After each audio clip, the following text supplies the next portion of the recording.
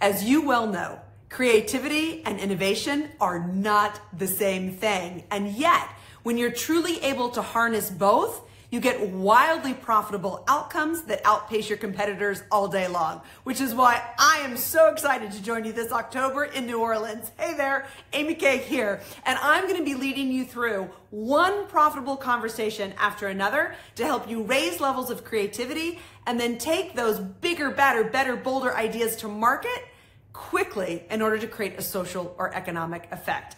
I'm going to be sharing practical questions, practical conversation frameworks, tools to actually raise the performance and productivity of your teams, to get more creativity from them, and to get more, as they say in the UK, innovative approaches in serving your client and your customer needs. And again, we're going to keep it super practical and super profitable. Not just a return on investment of your attendance at this conference, but also a return on investment in your people, the ideas that you want, and then how to execute them efficiently and seamlessly in order to get that fabulous ROI ripple of impact. So I will see you this October in New Orleans. And meanwhile, from my heart to yours, hugs.